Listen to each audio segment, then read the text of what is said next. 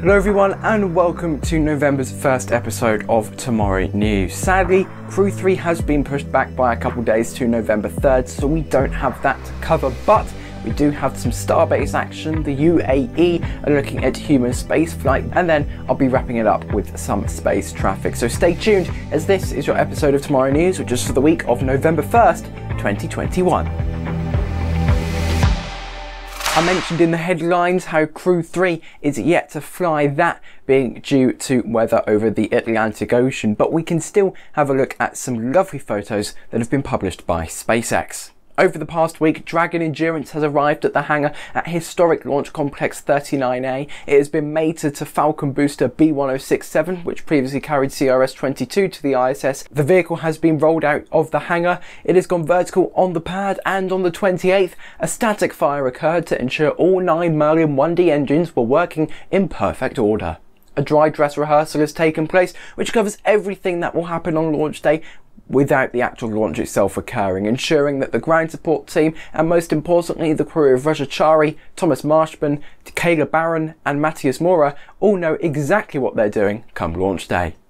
At a press conference held during the 72nd International Astronautical Congress, Roscosmos' Director General Dmitry Rogozin said that he no longer has any reservations with flying cosmonauts on Crew Dragon. Quote, in our view, SpaceX has already acquired enough experience for us to be able to put our cosmonauts on Crew Dragon. This is a significant step forward with NASA's wish to do some seat swapping on Soyuz as they want to fly cosmonauts on Dragon as a part of the commercial crew program, which would then see more Americans flying on the Soyuz. The earliest we could possibly see a cosmonaut fly on Dragon would be the Crew 5 mission near the end of next year, which is similar for NASA with the Soyuz as they did not acquire a seat for MS-21. So the nearest date they could fly another astronaut on Soyuz would be near the end of next year as well. Something else announced at the Congress was that the United Arab Emirates have selected SpaceX to launch their MBZ SAT satellite in the second half of 2023 on a Falcon 9.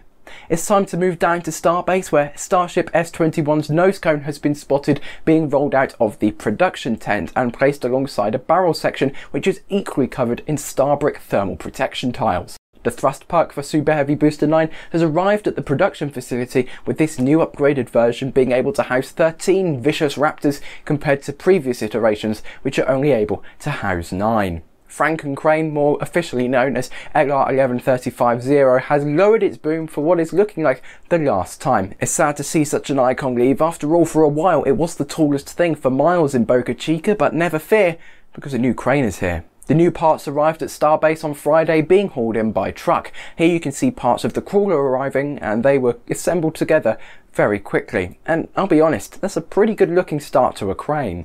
The last substantial piece of news to come out of Starbase this week is the first movement of the Mechazilla chopsticks with them spreading open in the early hours of the morning. The UAE is one of the least experienced nations with the human spaceflight game, with only four astronauts currently within their program, and only one of them, Hazza Al Mansouri, has actually been to space. That could all change in the near future though, as through 2020 with Dragon coming online and Boeing Starliner hopefully coming online within the near future, there is now more than one way to get to space. The Mohammed bin Rashid Space Center is currently in talks with both NASA and Roscosmos for future flight opportunities, and they have also said that they won't shy away from commercial opportunities too, as long as the deal is long term. Interest has also been expressed with the cooperation with the Artemis program, sending an Emirati citizen or citizens beyond low Earth orbit. Speaking of orbit, let's look at some space traffic. Launching at 0219 UTC on October 26, this H2A202 lifted off from the Yoshinobu Launch Complex in Tanegashima, Japan, carrying the QZS-1R geographic positioning satellite to a quasi-zenith orbit. This launch also marked the 100th launch attempt of the year, although it was only the 97th successful flight. 0620 UTC at the Jiuquan Space Launch Complex in China on October 19th marked the launch time of this Kuaizhou 1A from ExPace, with the payload adding to the growing high-definition video remote sensing satellite constellation. Launching at exactly midnight on October 28th, this Soyuz 2.1A with Progress MS-18 on top lifted off from Launch Complex 316 at the Baikonur Cosmodrome in Kazakhstan, headed for the International Space Station.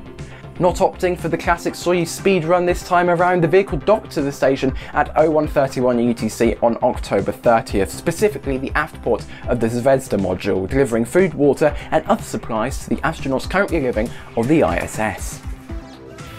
Coming up over the next seven days, we've got the launch of Crew 3 if it stays on schedule, another flight attempt from Astra, and the flight of an Epsilon. Fascination, and nothing in her way will keep her from her destination, cause she's just before we say goodbye this week, let's thank the citizens of tomorrow. They support the show every month through the YouTube membership program. And if you would like to join the Escape Velocity Orbital, Suborbital, or Ground Support ranks, then head on over to youtube.com forward slash tomorrow forward slash join, or you can just hit the little blue join button that is next to the subscribe button. If the subscribe button is still red, I'd recommend you click it so it turns grey. Also, I'd recommend that you hit the notification bell so you don't miss the next live show, which is this Friday night PDT, technically 0000 UTC on the 6th, or next week's episode of the news. Also a sneaky convenience for you if you're watching in Europe. Our clocks have gone back for daylight saving, but in the US they haven't yet. They're still on DST for another week, so the live show is actually an hour earlier for us if you feel like staying up late and watching it. But for now, thank you for watching. Hopefully we'll see you at the live show and goodbye.